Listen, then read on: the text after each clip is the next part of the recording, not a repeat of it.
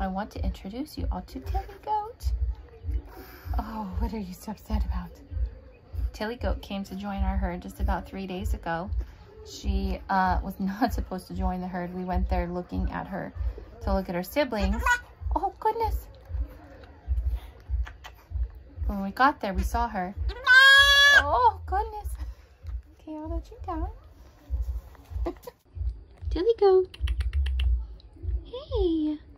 You can see she's a little skinny. She's 12 weeks old, so she should be a lot bigger than she is. But she was actually rejected by her mother. She was one of two, and the mother rejected her. And the herd had kind of been picking on her, and the farmer where we um, picked them up, and it was it was a it was a beautiful farm. They were clearly taking very good care of their animals, so this wasn't an issue of animal neglect. But it was an issue where they he he didn't quite have all the extra time to help Tilly out because she wasn't getting any milk and she was getting picked on by the herd so he kind of just let her do her thing and hope for the best. Um, so when we went to see her her siblings he didn't introduce her and my daughter sheepishly said well what about that little brown one? He said oh she's not for sale. She's been rejected and she's not healthy. And you know, we're not, we can't guarantee her. She's, she's super small and bony. And so naturally my kids were like, well, that's our goat. And if I was too, I was like, oh, I can't leave her here. I have to take her home and take care of her. So she was supposed to be a Nigerian dwarf, or she is a Nigerian dwarf alpine mix. Sorry about that view. These are her current herd mates. This is Madeline showing us her amazing acrobatic skills. Uh, she is actually the same age. I don't know if you can tell from this angle. Same age as Madeline there. And she's actually a quarter alpine, so she should be bigger than um, Madeline is. Oh, there she goes. But she's not because she's so small. But, oh, hi, Madeline. Oh, you're so curious, aren't you? I know. We have been feeding her, um, so she's on hay and grain, but we've also been giving her a bottle, which she should be too old for a bottle, but we're trying to help her gain weight. So we're giving her a bottle with just some goat milk replacer. Let's see if I can get your pretty face. Hi, can I have it? Oh, get your feet out of the way. Oh, you're so pretty. Hi, beautiful Tilly goat. Madeline, yes, you're pretty too but we've been uh yeah and that's become the kids new favorite chores feeding the baby goat her bottle. She gets very excited and chugs it down and then she has to take breaks because she's like out of breath and it's the cutest thing. And then when she's done she just wants a nap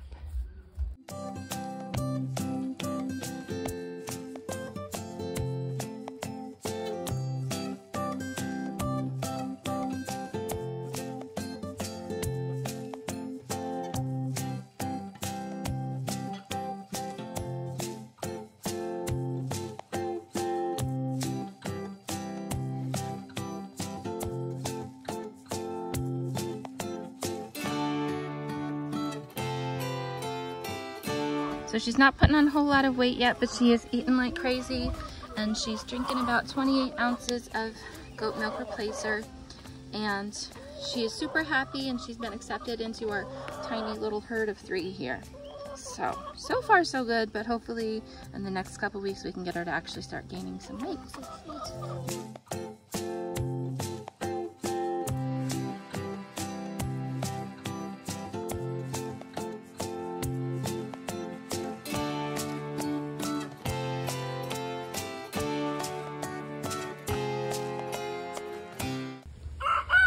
The last video we did with Tilly Goat was all the way back in July. Hi, pretty girl.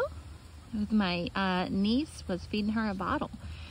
And I kind of stopped recording because honestly, it was just very slow progress at first. And we kept her on a bottle as the same routine for um, probably at least two months.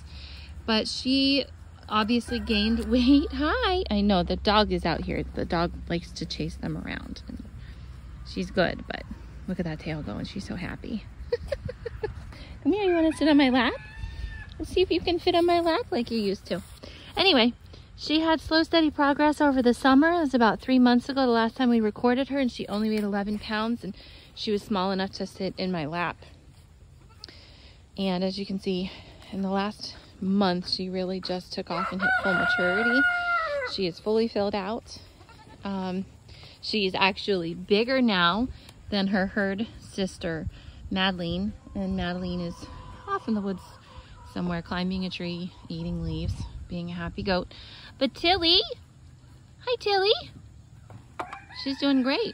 Uh, they always want to show us our, their back ends. Hi, pretty girl. She kind of looks like a little white-tailed deer now. Lucy. Good girl, Lucy. Hi, beautiful. Hi. Oh, yes, you're so pretty. So this is her with her herd brother, and he's a wether. We, we, we decided to wether him. He was just way too bucky. And he broke everything we built to try to keep him contained. But you can see them next to each other. This is her sister, and she's now as tall as maybe a couple inches taller than her herd sister. But we originally thought when she came here, she was just going to be like a rescue and rehab and pet. And, you know, we didn't really have a whole lot of hope for her. But now that we see her with her siblings, um, not actually born together, but just, her, you know, same herd, we feel pretty confident that next year we will actually be able to have her uh, bred. She should be able to give us some really beautiful kids. But as you can see, she's completely filled out.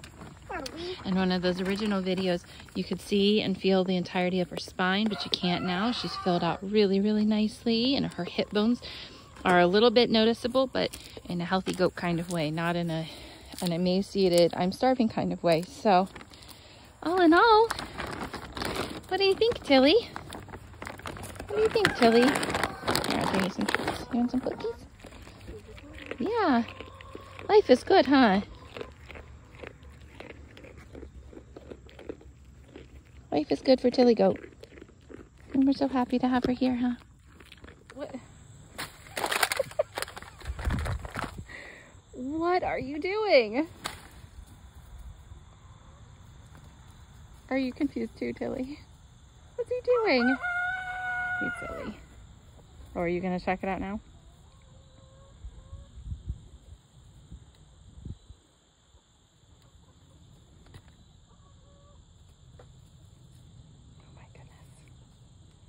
Goats are so funny.